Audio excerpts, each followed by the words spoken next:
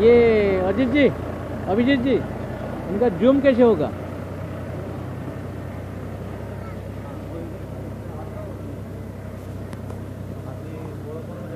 ठीक है ठीक है। ज़रूरत नहीं।